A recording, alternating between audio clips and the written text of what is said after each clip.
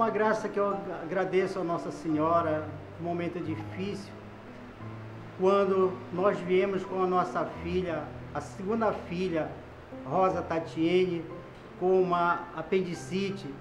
Nós viemos do interior e chegamos aqui, fomos encaminhados diretamente para a Beneficente Portuguesa. E nesse momento o médico fez, fez uma, um exame nela e disse que ela tinha que ser, ser operada imediatamente.